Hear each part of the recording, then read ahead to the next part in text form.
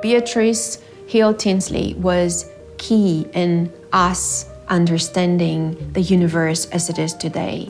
Before her, there were theories, there were observations. After Beatrice Tinsley, there is almost like this unified understanding of what is happening out there in the, in the sky. I would consider her of, of the caliber of probably Einstein or Newton, so she's one of the giants.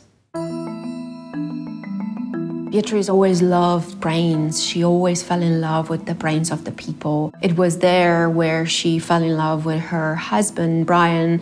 Then she was seen as being the wife of Brian Tinsley for very many years, even though she was an independent scientist.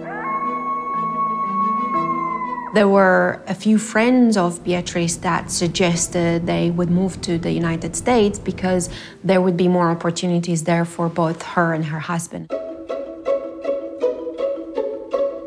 She actually finished her PhD with the writing and everything in less than two years.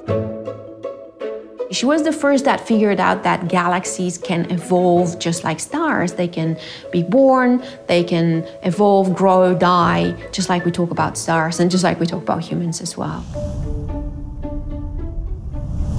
It's a huge honor to have an asteroid named after after them because it's like it's your right to immortality. You're out there in the sky forever.